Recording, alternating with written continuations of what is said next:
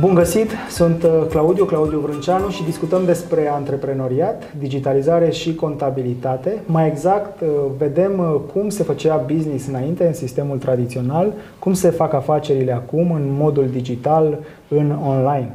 Îl am alături de mine pe Andrei Blaj, antreprenor în serie, implicat în mai multe afaceri. De asemenea, este alături de mine Ioana Teodorescu, expert contabil și partener Keys și, bineînțeles, Alex Puiu, din partea platformei uh, Keys. Andrei, Andrei Blaj, ești implicat în mai multe business-uri, uh, preponderent în zona aceasta de IT, ești antreprenor în serie. Cu ce se ocupă business-ul tău principal și sunt foarte curios să ne spui când ai început afacerea ta? Uh, bună seara, uh, mă bucur să fiu aici. Um, businessul meu principal este ATA Systems. E o companie care dezvoltă produse software Uh, ne concentrăm pe două tipuri de clienți, instituții, organizații mari internaționale sau uh, companii de tip startup finanțate. În, uh, mai de curând, adică în ultimul an, ne concentrăm mai mult pe patru piețe. Um, MedTech, EdTech, FinTech și instituțional. Instituțional înseamnă guvern și administrație, adică clienți instituționali mari. Când ai început? Uh, Business-ul ATA Systems am început în 2015, deci de 6 ani și ceva. Înainte de Data Systems am mai început alte companii, de prin 2008 uh, uh, am compania mea. Sunt mulți antreprenori care astăzi uh, își cresc afaceri și au început acum 5 ani, 10 ani, 15 ani. Cum s-a schimbat uh, business-ul pentru ei și relația cu uh, specialiștii, cu specialiștii contabili, în opinia ta, Alex? Eu cred că într-un fel ambele au evoluat în același timp. Dacă acum 10-15 ani foarte mult era hârtie, foarte mult era drumuri, foarte mult era o, o povară administrativă destul de mare.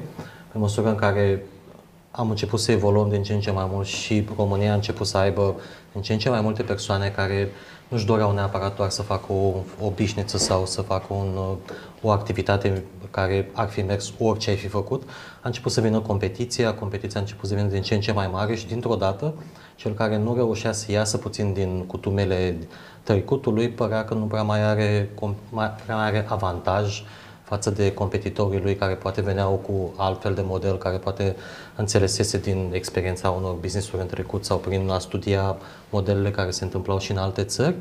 Și din ce în ce mai mult nevoia antreprenorului de a nu mai fi tot timpul cu OP-urile printate pe drumul până la bancă, să stea la coadă la ghișeu, să aștepte să facă fiecare plată în parte, să zâmbească la fiecare domnișoară de la ghișeu de acolo, sperând că îi procesează lui plățile înainte ca să nu-l blocheze furnizorii, să poată să plece salariile, să fie oamenii, să fie oamenii mulțumiți, pe măsură în care aceste lucruri deveneau importante să se întâmple mai digital, mai repede, mai în mișcare, ușor, ușor, activitatea antreprenorială a început să crească din ce în ce mai mult în România și oamenii să înțeleagă că a deține un business nu înseamnă neapărat doar cumperi marfă la un preț și o vinzi mai scump, ci dintr-o dată puteai să aduci altfel de inovație în, ceea ce, în modul în care consideri că poți să aduci valoare adăugată în piața la care încerci să te adresezi.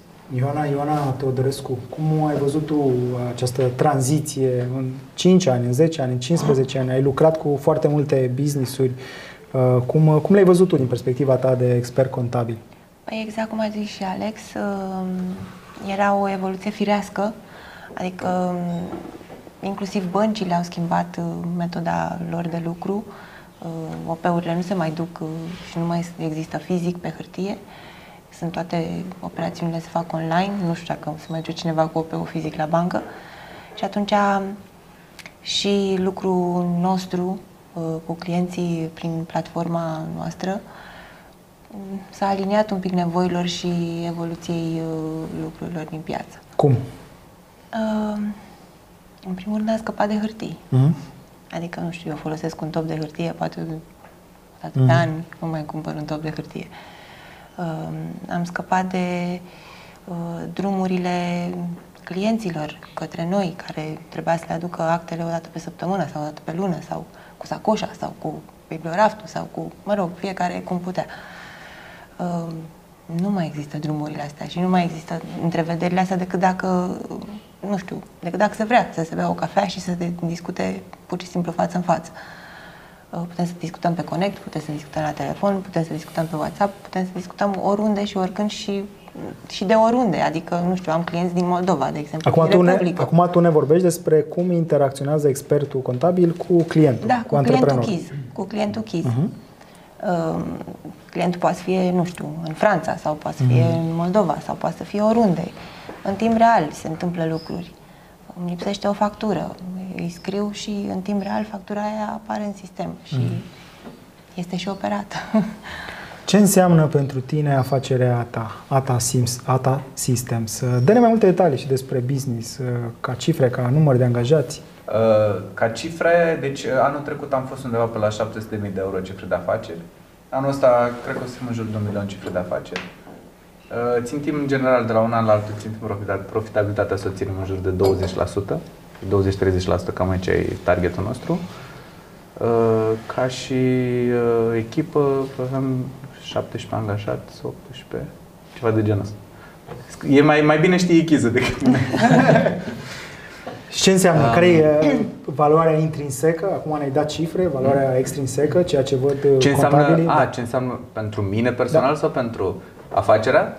Păi, adică, la mine personal, ideea de a avea afacerea mea proprie înseamnă, în primul rând, uh, libertate, dar nu neapărat înțeleasă în faptul că am mai mult timp liber, ci în, în ideea că am, pot să-mi aloc eu timpul liber când, când vreau eu.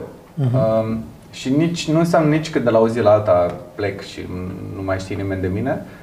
Tot trebuie să fac o oarecare planificare înainte, dar pot să-mi eliberez timp. Um, De exemplu, am- avem o internă care, cu care am făcut one-on-one acum vreo două luni, cred că primul sau al doilea one-on-one pe care l-aveam cu ea și tocmai mă întorsesem dintr-o vacanță de trei săptămâni și mi-a zis că e primul business la care s-a angajat, la care șeful i a plecat trei săptămâni legat. Iată. Și eram, a, ok, adică pare... Ioana, cum era cu cum era înainte cu timpul antreprenorilor, cum e acum, cum îi simți? Au- Au nevoie mai mare de timp, e mai ușor datorită digitalizării să câștigăm timp? Cum era în modelul tradițional de relaționare cu, cu antreprenorii, cu administratorii, cum e acum? Eu cred că, exact cum a zis și Andrei, dacă ei vor să-și facă timp, își fac timp și timpul ăla pe care îl câștigă aleg cum să-l folosească, dacă în scopul de a dezvolta afacerea sau pur și simplu ca să fie un timp liber. Um, Într-adevăr, sistemul ăsta online îi ajută foarte mult și ne ajută și pe noi contabili foarte mult. Adică inclusiv noi avem timp liber. foarte mult.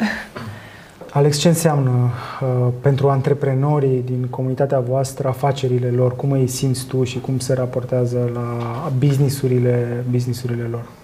cu, cu riscul de a nu părea neapărat foarte prost. În tot, când ai prezentat tu business-ul, nu toate cuvintele le-am înțeles. Deci nu, nu pe toate. Am înțeles câteva, dar nu pe toate.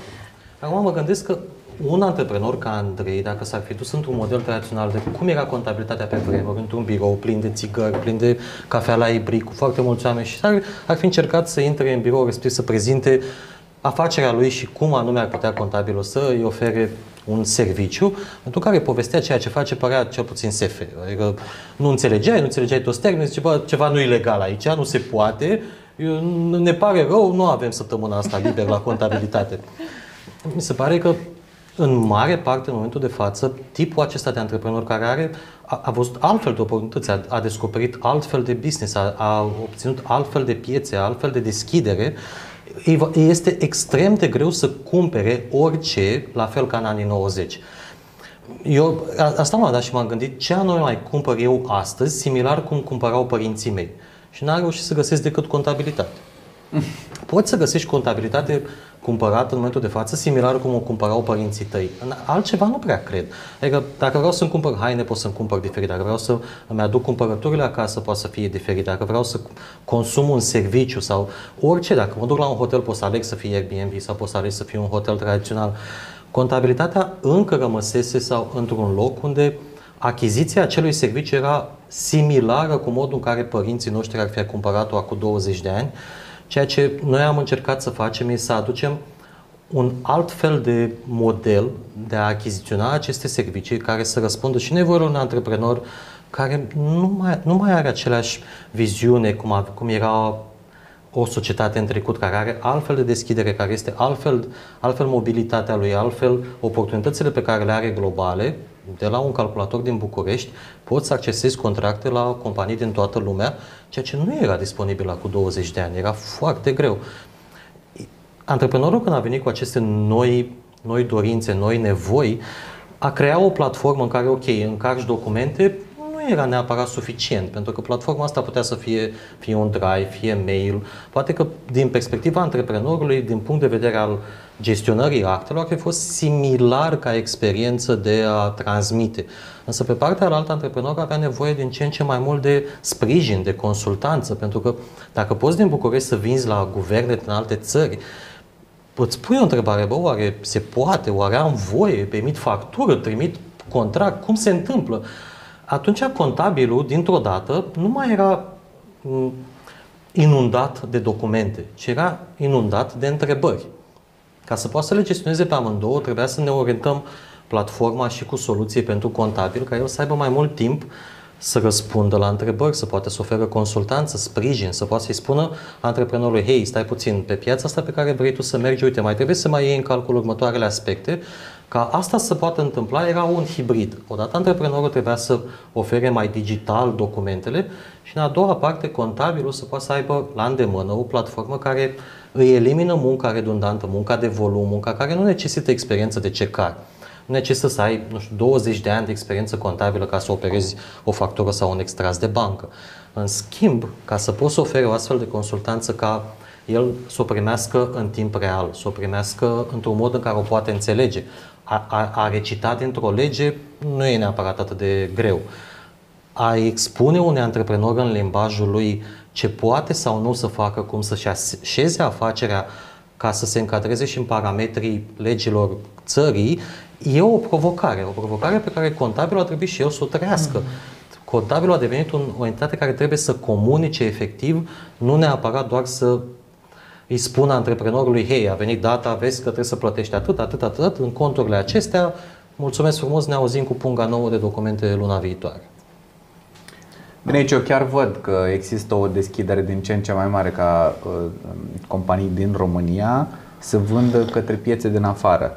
Noi, de exemplu, adică aici mi-aduc aminte, acum 2 ani de zile semnasem un contract cu o companie din Malezia și închiz, foloseam atunci achis să facturăm, închiz nu era încă currency-ul, din ringhitul malezian. Da. A sunat pe Stelian și a făcut uh, ringhitul malezian. Da, adică lucrurile s-au mișcat foarte repede și nu, adică problema principală nu era că nu era ringhitul malezian, ci am discutat și despre care sunt um, condițiile economice de a face business cu Malaysia și am văzut că poți să nu pui nicio taxă, adică că există acorde uh, dublă impunere sau da. evitarea dublei impunere. Deci adică cumva am reușit să ne mișcăm foarte repede. Adică asta a însemnat, nu știu, un telefon de două ore, nu cred că a durat mai mult. Deci, uh, Ioana, cum era înainte, cum e acum, dacă ne uh, raportăm la această deschidere a antreprenorilor români, să facă business și cu parteneri din uh, alte piețe. Cum, uh, cum ai văzut tu lucrurile ca expert contabil de-a lungul anilor? Păi exact cum a zis și Alex, înainte ne concentram să să trecem prin toate facturile primite de la clienți și dacă mm. aveau, nu știu, două, trei întrebări până nu treceam prin mormanul de acte, nu aveam cum să răspundem, pentru că trebuia să-ți dai seama că ele începeau de aici, se terminau aici. Până nu treceai prin toate, n-aveai ce, întreba, ce răspuns să dai la nicio întrebare, mm. pentru că trebuia să înțelegi cursul firesc al lucrurilor. Acum ele, fiind toate în platformă, fiind operate deja, nu știu, să zicem că 3% operăm noi, experții mm-hmm. contabili. Ehm, tot timpul ăsta ne rămâne să ne gândim și să oferim un răspuns ehm, cât mai corect și mm-hmm. cât mai mm-hmm. nu știu. Mie mi se pare simpatic că eu, eu când am învățat despre gestiunea unei, unui business, când am făcut, când am făcut ACCA, care e o certificare internațională de financiar, audit, contabilitate, uh, Chiar învățasem la un moment dat la un modul avansat, adică la cursuri, la examenele de profesioniști unde treceai la următorul nivel, învățasem cu o firmă foarte mare de consultanță mondială, inventase un sistem care să analizeze dacă sau cum poți să duci într-o țară. Se numea Pestel Analysis. Political, economical, social, dar era un, o construcție enormă care se presupunea că cineva, niște consultanți foarte, foarte inteligenți au stat și au gândit un sistem prin care te uiți juridic, legal, pentru că, într-adevăr, barierele în care o firmă pe vremea, la momentul în care s-au dezvoltat acele modele vindea într-o altă țară decât țara de jurisdicție, necesita după zeci de ani de experiență, când era deja un large corporate cu mulți avocați, cu mulți consultanți. Acum, real, un antreprenor care poate să fie chiar și la început de drum, care poate să aibă câțiva ani de experiență, care poate să aibă o vârstă foarte fragedă, poate să acceseze o vânzare într-o țară care este într-o cu tot o altă jurisdicție instant. Gândiți-vă cum ar fi ca, de exemplu, antreprenorul observă oportunitatea de business, emite o factură, încasează niște bani pe data de 2 februarie. 28 de zile mai târziu lasă actele, încât 15 zile mai târziu cineva le vede și te sună 43 de zile mai târziu și spune, hei, n-ai făcut bine. Experiența respectivă ar fi una destul de, destul de dificil de gestionat într-o lume atât de rapidă și atât de mult în mișcare. De aia noi am gândit un sistem prin care hai să obținem repede actele, hai să înțelegem repede ce ai de făcut, astfel încât noi să putem să spunem repede, hei, stai puțin, nu e neapărat ceea ce trebuie. Sau, ba da, se poate, hai, mergi mai departe, vinde mai mult, fă mai mult, dezvoltă-te mai mult, pentru că lumea acum îți oferă altfel de oportunități. Nici noi nu mai puteam să rămânem să fim la fel blocați în aceleași dosare, bibliorafturi, mulți oameni care poate veneau, poate nu, poate erau liberi în ziua respectivă sau bolnavi sau erau disponibili ca să putem să răspundem acestor nevoi ale antreprenorilor care astăzi ei le au. Andrei, ce așteptări ai de la partenerii tăi de afaceri? Fie că vorbim despre antreprenorii locali, fie că ne referim la parteneri internaționali, care sunt așteptările tale de la ei?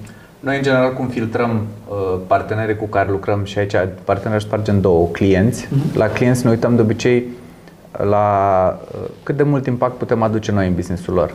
Adică prin ceea ce facem noi, prin ceea ce știm noi, adică în, în special know-how pe zona de tehnologie și de produse software și know-how în domeniul specific în care ei activează, uh, dacă putem să creăm impact în, uh, în viața lor, în viața companiilor. Și de la parteneri, în general, ne interesează parteneri cu care să ne putem mișca repede. Adică în, ideea e că noi ca și business, față de o companie mare care are, are o mie de avantaje, avem un avantaj foarte important, viteza. Noi ca firmă mică încă, da? Noi trebuie asta să-l fructificăm. Adică dacă noi reușim, dacă noi ne luăm parteneri care se mișcă un, ne țin un pic pe loc azi, încă luăm unul care ne ține încă un pic pe loc și celălalt, o să ajungem să fim cu o viteză asemănătoare cu a companiilor mari, dar fără inerția lor fantastică. Adică Și pentru cei care ne urmăresc acum, ce sfat da. ai cu privire la parteneri? La ce să fie atenți când uh, uh, discută sau când negociază cu un partener mai mare? Că tu ai discutat cu mai multe, ai negociat cu mai multe tipuri de parteneri uh, și ai experiență în acest sens. Ce îi sfătuiești uh, cu privire la această relație antreprenor-partener? Da. Eu n-am avut multe experiențe, nu știu, neplăcute. Adică, în general, am plecat de la presupunerea că există bună intenție de ambele părți și de foarte multe ori așa a fost. Adică în, cumva abordarea în care stăm fiecare și ne apărăm interesul mi se pare că e defavorizantă pentru că dacă tu stai și stai în zona asta psihic, psihic tu ești în zona asta, îl pui și pe celălalt în aceeași zonă. Și apoi discuția de parteneriat se duce în zona asta, în care mai degrabă te uiți la să ne protejăm de uh, riscuri decât să ne concentrăm pe oportunități. Ai cumva asta mai mult în zona asta, în care hai să vedem ce, ce ar fi oportun dacă am lucra împreună. Cumva în zona foarte pozitivă aici. Adică asta ne-a dus nou, în general, multe avantaje. Cum vedeți voi parteneriatul, Alex și Ioana, ca experți în domeniile voastre de activitate? Parteneriatul între uh, antreprenori, între partenerii voștri, clienții voștri și partenerii lor? Noi întotdeauna am, am fost puși într-o situație până în recent de a fi gardien tot timpul. Contabilul era privit ca cel care te protejează de riscuri sau cel care își asumă o răspundere ca tu să nu ai anumite riscuri în ceea ce faci. Foarte rar a fost privit ca un partener de afaceri sau contabilul era expertul contabil, nu era uh, furnizorul meu, antreprenor, care întâmplător livrează servicii de contabilitate. Noi ne-am gândit că dacă ne, ne plasăm ca un partener real al afacerii care pe lângă toate răspunderea pe care o, o luăm, pe lângă toată grija și diligența pe care o oferim antreprenorului ca el să nu aibă niciodată probleme în ceea ce înseamnă activitatea juridică sau legală sau fiscală a firmei lui, am încercat să dăm oportunitatea de a-i, de a-i spune uite, și noi suntem un partener cu tine și mai mult de atâta, ca partener îți dăm un set de informații, îți dăm cifre, ți le punem la dispoziție, îți suntem disponibili să ți le explicăm pentru ca tu, când mergi mai departe în, în parteneriatele pe care le dezvolți, să încerci să dezvolți acele relații, luând în calcul și, și cifrele afacerii. Pentru că uneori emoția, intuiția sunt elemente care sunt la baza unui antreprenor. Antreprenorul e cel care, spre deosebire de un finanțist ca mine, el are un, o foarte mare inclinație către empiric, emoție și inspirație, însă de cele mai multe ori, oricât de bun ar fi rezultatul empiric, emoțional sau inspirațional, când este și acompaniat de cifre care pot da o dimensiune între mai multe tipuri de decizii pe care le poți lua, atunci el își poate vedea mai bine dimensiunea parteneriatului cu ceilalți furnizori pe care are, modul în care trebuie să interacționeze din perspectiva colectării creanțelor, plății furnizorilor și încercăm să fim pe lângă gardianul ca lucruri negative să nu se întâmple și cel care arată informația într-un mod în care îți poate da șansa să poți să iei o decizie care, pe lângă cele trei atribute, să mai aibă încă unul, atributul de cifre. Mm-hmm. Ioana, cum vezi tu această idee de parteneriat? Cum era înainte în sistemul tradițional? Cum este acum când vorbim despre această creștere a contabilității digitale, contabilitatea online?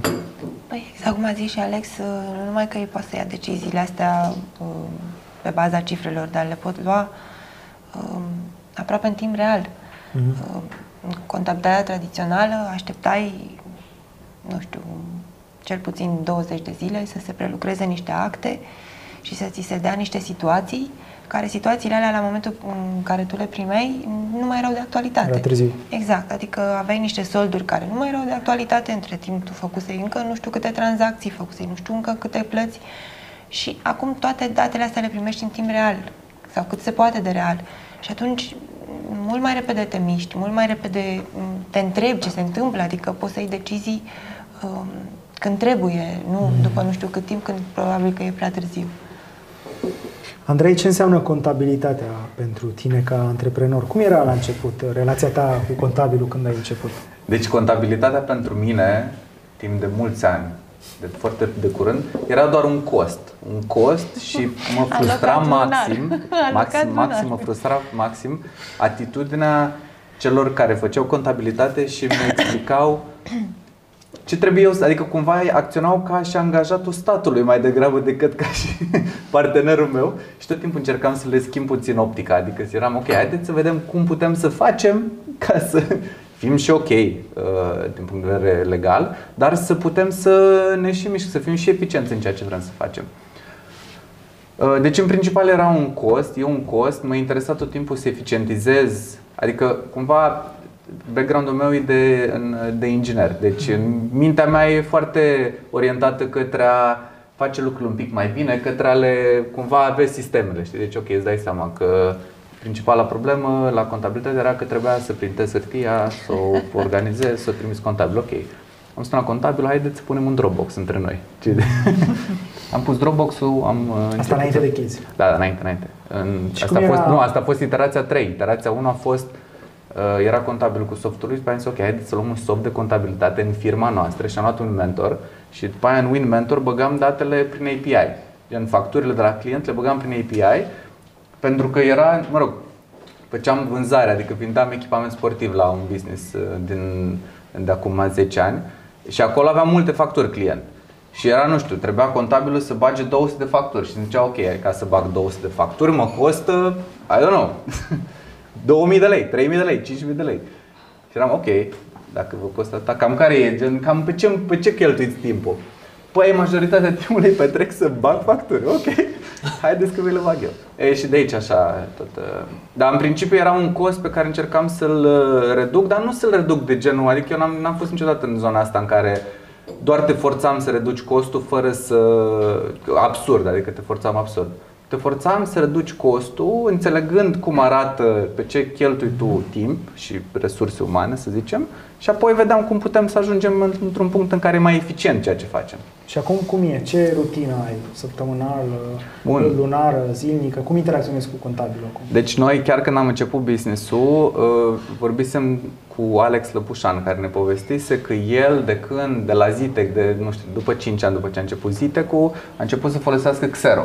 Deci ținea contabilitatea contabilitate și ținea în Xero, care Xero e un fel de, să zic, uh, keys uh, dar din piața anglosaxonă, deci în, uh, plecat din Australia business-ul, dar foarte mare acum în state. Ținea în Xero cumva contabilitatea, dar pentru el, ca și om de business. Și cu Arte atunci nu înțelegeam noi exact de ce ar trebui să ținem, dar zis, ok, fii atent, Alex are super experiență, haide să mergem pe mâna lui. Și țineam în același timp contabilitatea normal, mă rog, cu o firmă de contabilitate și noi țineam documentele închise. Pentru ca să vedem noi lucruri pe care ne interesau, pe, pe, interesante pentru noi. La un punct am auzit de Keys și apoi discutam cu Arte și ziceam, Arte zicea, ok, dar Keys nu e încă în punct, adică în Keys nu ești atât de flexibil, în principal datorită tipului de contabilitate, cred eu. Nu ești atât de flexibil ca în contabilitatea anglosaxonă, unde îți pui tu conturile cum vrei tu, ți le organizezi, adică cumva să poți să faci contabilitatea să o, să o mulezi pe business-ul tău. Și uh, ziceam, ok, dar Keys nu e atât de bun ca Xero. Și după aia zic cu Arte, dar noi nu comparăm Keys cu Xero, noi comparăm Keys cu contabilitatea noastră de acum da. și față de contabilitatea noastră de acum, Keys e mult mai tare, adică e mult mai ok pentru că putem să luăm oricând balanțe, putem să vedem oricând datele, putem să urcăm datele în cloud, adică nu am mai printat nimic de când am început să colaborăm. Și atunci am zis, ok, haideți să începem să lucrăm. Ioana, ce așteptări aveai uh, înainte în sistemul tradițional de la antreprenor? Mm, nu mai mi-aduc aminte. nu mai mi-aduc aminte cum era înainte de chis. Dar acum cum e? uh, nu știu, eu am mers pe mâna lor de când i-am cunoscut. Uh, am crezut în tot ce mi s-a spus. Cu toate că suna așa ASF și mm. AOZN-uri și când mi-a explicat pe hârtie, nu știu, am fost, uh, am fost acolo. Și acum cred și chiar vreau să văd unde o să ajungem, pentru că sunt convinsă că o să ajungem foarte departe. Cum era cu așteptările uh, contabililor de la antreprenori înainte? Cum e acum?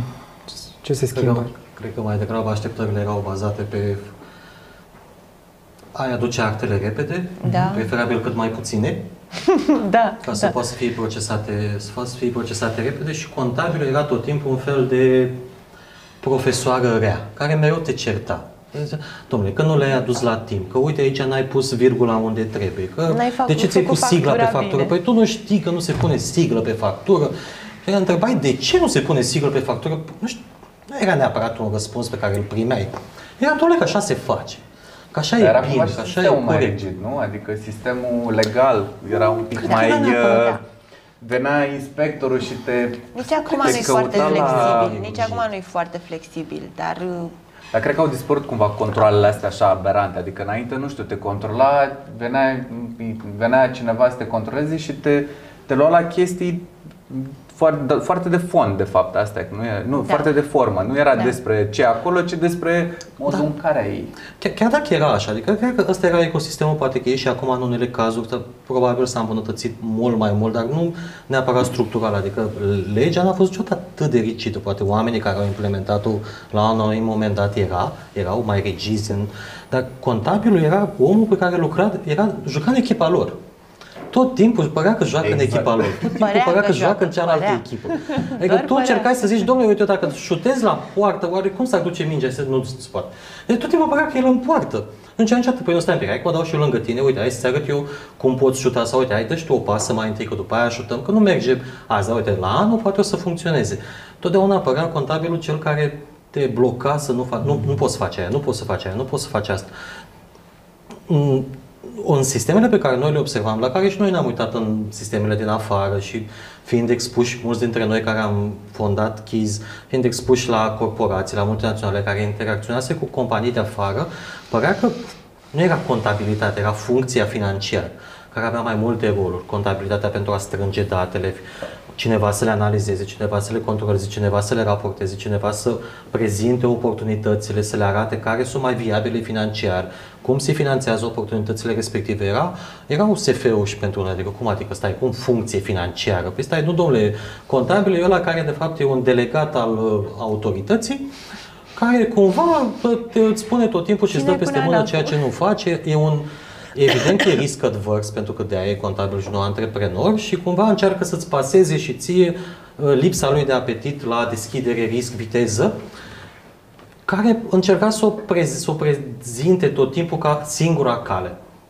Noi încercăm să schimbăm această paradigmă din mai multe puncte de vedere. Poate că, poate că această viziunea contabilă era și din faptul că prea multe acte însemnau mult mai multă procesare manuală, mult mai multe printare, multă aranjare în dosare, mult mai mulți oameni necesari, mult mai greu de gestionat, mai mulți oameni, mai multe calculatoare, mai multe birouri și așa mai departe. Și părea oarecum uh, overwhelmed de toată situația. Și am zis, ok, nu putem să facem o chestie bună doar pentru antreprenori. Dacă îi dăm antreprenorului o, o aplicație super modernă, super rapidă, prin care el își va încărca documentele, va vedea un raport în timp real, pe de altă parte, partenerii care vor trebui să și implementeze acest lucru vor fi și mai uh, aglomerați cu, cu munca asta și ne-am întors toate eforturile și tehnologia și pentru a ajuta contabilul ca el din contabil care procesează să devină partener, exact. să devină un consultant, să devină un, un verificator care se dă un pas în spate, vede o situație care e creată în timp real de documente create de client, și de documente procesate de roboții noștri, începe să observe anumite conexiuni sau anumite elemente care nu sunt neapărat conectate, oferă feedback rapid, stai puțin, aici apare că ceva nu merge. Oprește-te un pic, hai să vedem ce se întâmplă înainte să continui până când problema nu devine prea mare, astfel încât el dintr-o dată, la primul astfel de semn, antreprenorul dintr-o dată nu mai vede ca un cost sau ca un element care doar îl îl inhibă în activitatea lui, ci ca un element care îl ajută.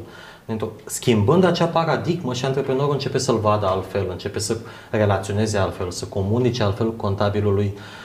Iar sunt convins că și contabilul, dintr-o dată, el începe să-și vadă activitatea lui relevantă pentru profesia, experiența și, nu știu, inteligența pe care o are, ca să poată să ofere ceva cu care să se simtă mândru nu se poate să ofere ca în fiecare lună taxele de plată. Mm. Noi asta facem lună de lună, suntem într-o activitate sisifică în care data de 1 înseamnă o nouă lună, data de 25 nu înseamnă decât 6 zile până la data de 1. Înțelegem asta, facem asta în fiecare zi, e profesional asta, o iubim mulți dintre noi, dar ne s-ar părea că am putea să facem mai mult data decât să fie o nouă corvoadă de o exact. nouă 25. Și uh, ca să avem uh, pe bune acest parteneriat, ar trebui să fim atenți la managementul așteptărilor, de aceea vă propun să ne spuneți pe scurt ce așteptări aveți de la partea cealaltă fiecare. Ce așteptări ai tu de la expertul contabil, de exemplu, Andrei, ce așteptări ai tu, Ioana, de la antreprenori, de la clienții, de la partenerii tăi? Um, pe, pe mine m-a atras un lucru când am început discuția cu Chiz, că pe lângă partea de contabilitate, care atunci mi se părea un cost doar, a, au, adică Alex și Stelian cu care m-am întâlnit atunci au pus pe masă și faptul că dacă e nevoie avem acces și la partea de audit, adică partea de know-how peste ok, ții actele în ordine, cool. e bine, ții actele în ordine, e bine, dar pe noi, realist vorbind, ca și business, ne interesa mai degrabă să putem avea discuții în zona în care să înțelegem riscurile anumitor operațiuni uh-huh. și să ieșim un pic din paradigma asta 0-1, alb-negru.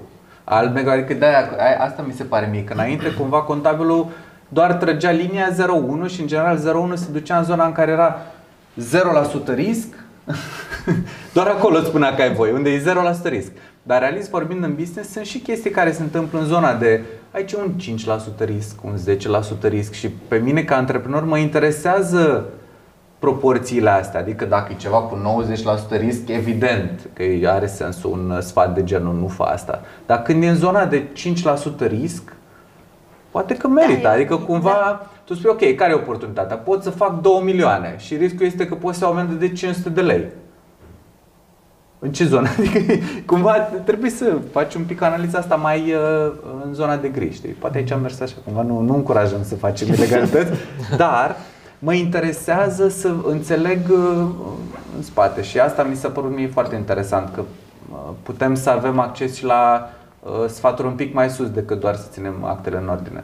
Uh, și de-a lungul timpului am avut discuții de astea nenumărate și toate foarte repede și cu un, uh, în general cu sfaturi foarte bune pentru noi. Ioana, referitor la cele spuse și împărtășite cu noi de către Andrei, Andrei Blaj, uh, cum te simțeai înainte când cumva erai percepută, iată, ca un uh, cost, ca un specialist care introducea uh, niște date acolo în, uh, în uh, firmă, în datele firmei, cum e acum când ești un consultant, un partener al antreprenorului? Păi, eu înainte eram un fel de baubau, Aha. care îl speriam pe antreprenor uh, cu taxele datorate la înainte de 25 ale lunii, uh, care era tot timpul o surpriză pentru el.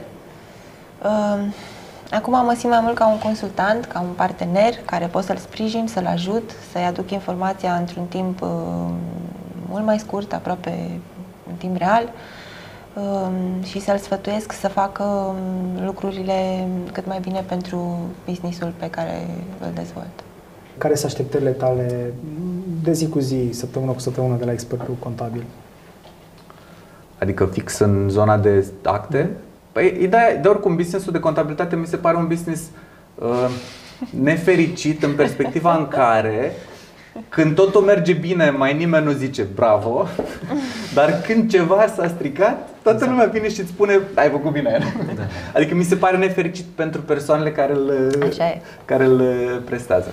Uh, Așteptările sunt lucrurile să fie, mă rog, toate actele să fie ținute în ordine și să am uh, uh, o vizibilitate cât mai bună. Corect. Uh, Aici, adică în zona asta sunt și după aia acces la sfaturi. Și adică în zona asta, adică toate astea nu au fost uh, rezolvate. Ioana, de partea cealaltă, care sunt așteptările tale? Exact. A ridicat-o la fileu. exact asta aș vrea eu. Ei să înțeleagă. Că la ce să fim atenți? Nu neapărat să fim atenți, dar uh, să înțeleagă că și noi suntem oameni și chiar dacă suntem uh, în spatele unei platforme și uh, ne ajută foarte mulți roboți și uh, 90% din uh, treaba noastră este făcută de roboți, 10% suntem oameni și mai greșim. Asta aș vrea să se înțeleagă. și atunci când greșim să ne mai, uh, na, să ne mai înțeleagă și pe noi că restul de 90% este bine. Doar 10% poate e, e Dar e greșit. firesc, adică oricine greșește. Acum e doar... Păi da, dar exact cum ai spus și tu, numai aia se vede și asta e dureros, știi? Că se vede exact atunci când ai greșit. În rest, nu, nu e cu aplauze, e... Aș vrea să ne spuneți cum comunici tu cu expertul contabil, ce întrebări îi adresați voi ca firmă contabilului și de partea cealaltă, aș vrea să ne spună uh, Ioana și Alex, ce întrebări pun uh, administratorii, antreprenorii, care ar fi top 3, proble- top 3 probleme, top 3 întrebări pe care le văd ei? Uh, Bun, deci în, în general pe partea de operațional noi avem o persoană care se ocupă de interacțiunea directă cu Keys. Am avut-o destul de devreme în, uh, de când am început uh, Deci persoana firma. respectivă Se pune ocupă, întrebări. da, exact, exact.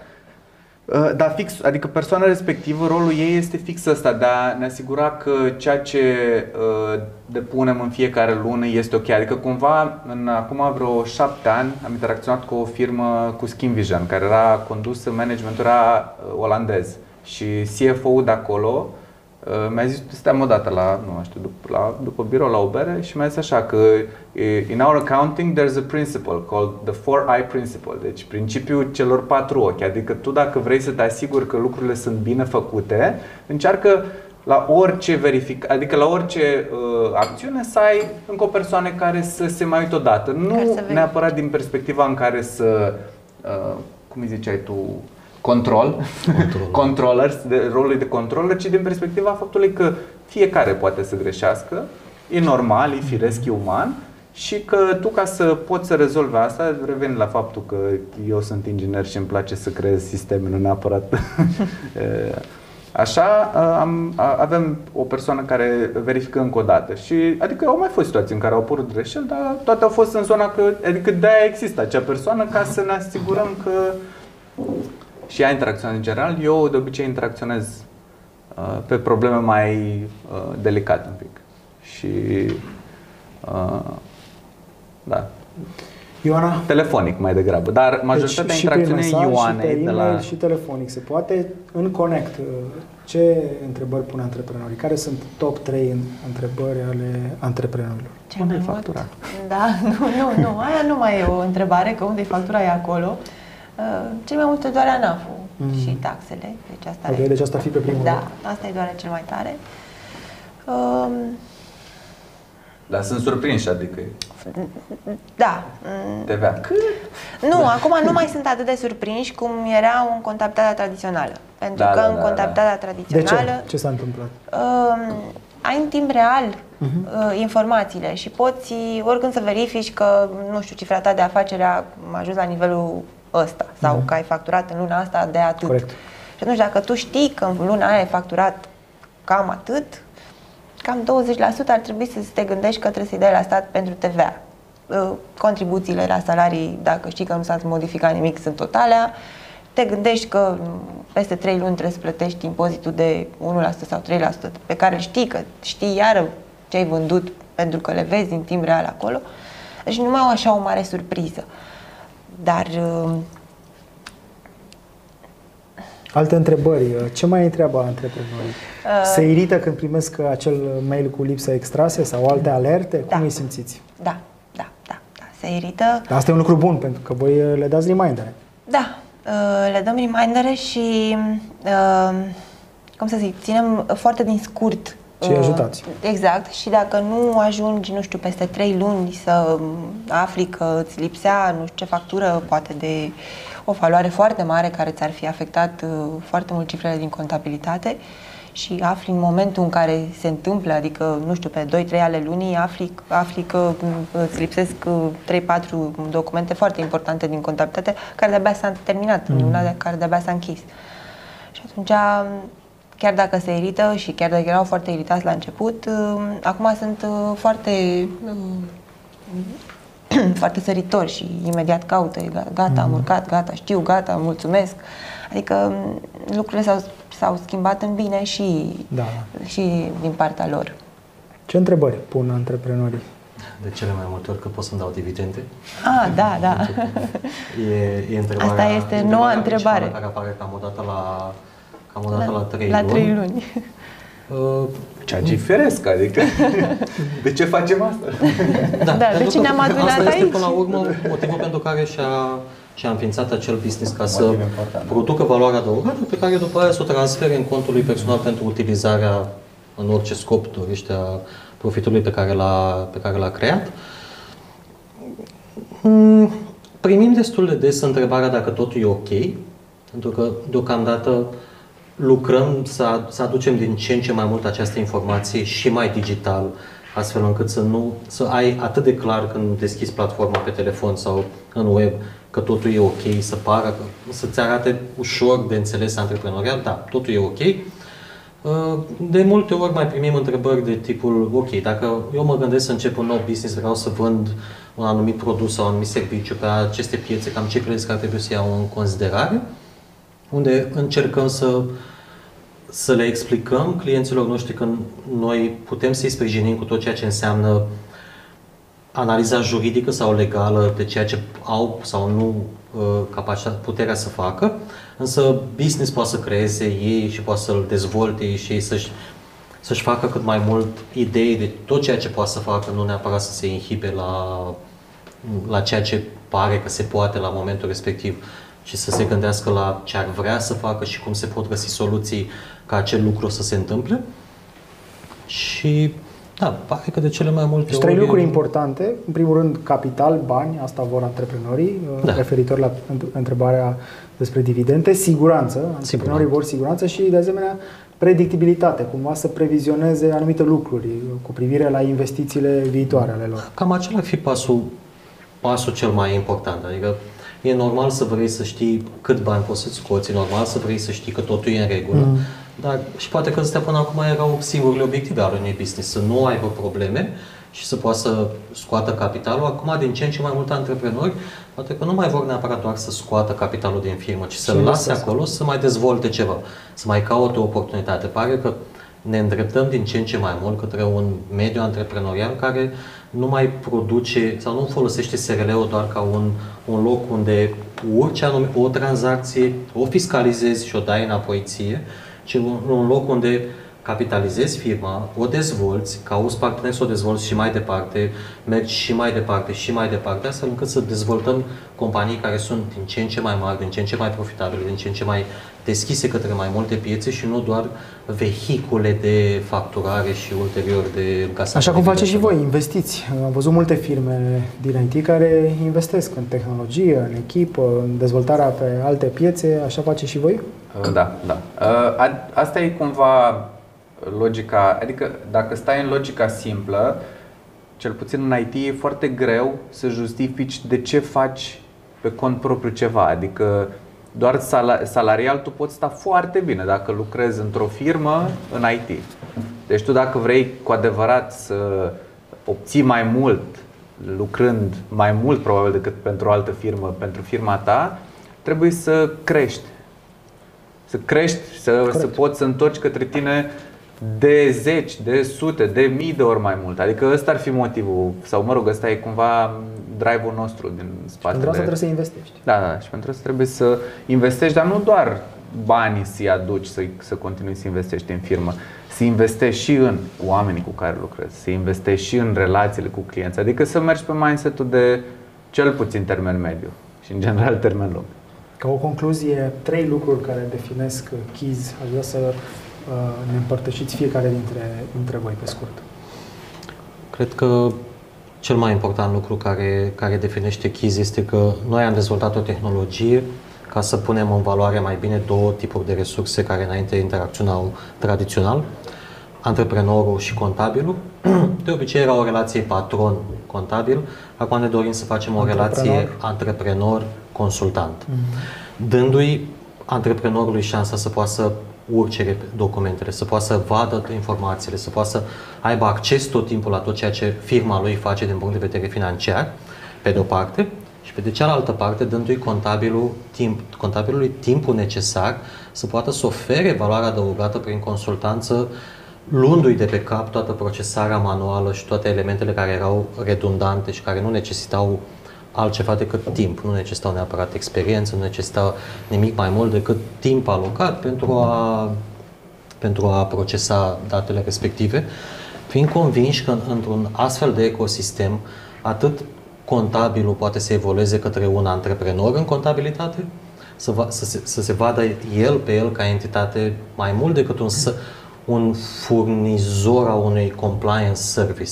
se vadă ca un antreprenor care are un business, care trebuie să aibă clienți, care trebuie să-și facă clienții fericiți, care trebuie să-l recomande mai departe, să crească, să se dezvolte, pentru că tehnologia îi dă, îi dă percepția că poate să aibă un număr mult mai mare de clienți, ceea ce înainte nu o avea. Pentru că înainte el știa că în cel mai rău caz poți să ajungi să ai poate 50, poate 60 de clienți, că te, te blocai, te blocai în prea multe acte, îți mai trebuia un nou spațiu, un, mai trebuia bibliorafturi noi. Mm. Știa că se blochează și pe urmare niciodată nu se privea pe el, băi, cum poți să, cum zicea Andrei mai devreme, cum își privea contabilul pe termen mediu sau pe termen lung activitatea? Mai niciodată, pentru că el era blocat la ideea că la 50 de clienți se va opri, va spera că nu pierde niciunul și că va crește treptat pe măsura na, inflației sau experienței, va crește tariful. Lui am dat ocazia asta să poată să se dezvolte.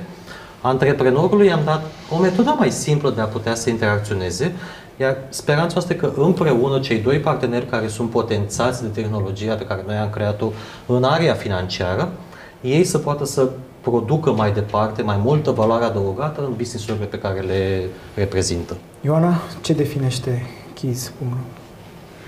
Uh, mai puțină hârțogărie, mm-hmm. ca să zic așa. Reducerea birocrației. Mai mult timp liber pentru mine și timpul ăsta liber pentru mine pot să-l um, folosesc uh, pur și simplu pe plan personal sau exact cum a zis Alex, să dezvolt uh, eu afacerea mea. Um, nu mi-aș fi imaginat niciodată acum 3 ani că o să ajung să am un portofoliu de 150 de firme. Mm-hmm. Chiar nu mi-aș fi imaginat. Cu același timp liber Adică nu sacrific nimic uh, din timpul familiei, uh, nu sacrific viața personală și cu toate astea am un portofoliu de 150 de firme. Perspectiva antreprenorului? Uh, ce face Keys pentru noi? Uh, am uitat întrebarea, deci dacă, dacă mai Ce spune antreprenorul? Ce definește Keys? Ce Trei definește lucruri Keys? Care definesc Keys. Um, da, eficiența, adică e foarte eficient și e, uh, noi am lucrat până, adică lucrăm cu Kiss de, cred că 4 ani, cam așa, 4 ani, nu? Plus minus. Uh, am, deja am, avem câteva persoane cu care am interacționat din partea Kiss pe post de expert contabil și absolut toate persoanele cu care am interacționat a fost o relație excelentă. Adică o, rela- o relație bazată pe ideea că eu sunt convins că cealaltă persoană va face ce poate cel mai bine pentru noi și invers. Uh, și cred că e, adică cumva au reușit să aducă în același loc oameni care uh, sunt în același mindset, uh, plăcut pentru mine. Uh, da, eficiență și acces la date. Adică ce, ce mi se pare mie uh, cumva de neimaginat acum să fac o cerere de balanță către contabilă. Și am acum nevoie de o anumită balanță și să pot merge mai departe pe drumul pe care m-am apucat, de, pentru care am nevoie de balanța aia în, urmă, în trei zile de acum încolo. Deci nu acum, ci în trei zile. Deci dau drumul la mail, ăla ajunge, doamna până se uită, zice ok, stai un pic că balanța aia nu era chiar bine, mai trebuie să mai termin de Și după aia în 3-4 zile cel mai devreme se întoarce. Era, Știi cum era să zice, Andrei, doriți balanța sau balanța balanța? E- Depinde Da. pe care o vrei. Acum nu mai e cazul, adică e și în plus uh, am și acces la date uh, avansate, adică noi ne uităm pe raportul de profitabilitate, ne uităm peste um, partea aia de dividende la fel, adică e accesibilă la Instrumente nu de știu, business intelligence. Te într-o ajută pe secundă. tine ca manager. Da, da, și ca normal, antreprenor. normal, normal. Și digitalizarea asta tu o simți mult mai bine pentru că tu ești un om de IT și asta oferiți și voi prin serviciile și produsele voastre. Da, probabil că ajută și background, dar pe de altă parte, adică sunt lucruri la care, adică, la care mă uit recent. Recent înseamnă în ultimii câțiva ani de zile. Până acum, la, până acum nu avem acces la ele. Dar mie îmi- îmi- îmi revine în minte discuția pe care aveam mai de mult, să zic, am- acum 7-8 ani cu contabilul, Uh, cum e, ieșim pe profit anul ăsta sau nu? Bine, acum mi se pare că Andrei de atunci era super naiv, adică... Dar totuși exista Ți această se răspundea întrebare, și nu cum știu. vrei să fie. Adică prin noi- octombrie, noiembrie, decembrie începea să apară întrebarea asta. Da. și e amuzant, e amuzant că era așa un fel de... um, pentru că nu Licență. aveam acces la date sau ca să am acces la date trebuia să, nu știu, să fac șpagatul în aer în timp ce eram cu capul în jos. Preferam să, Să treacă până timpul. în momentul în care era groasă. Era, era, neapărat trebuia să aflăm. Ioana, Andrei, Alex, vă mulțumesc pentru dialog Și ne mulțumim. Mulțumim frumos. și felicitări pentru că Mulțumim. susțineți afacerile mici, medii și mari.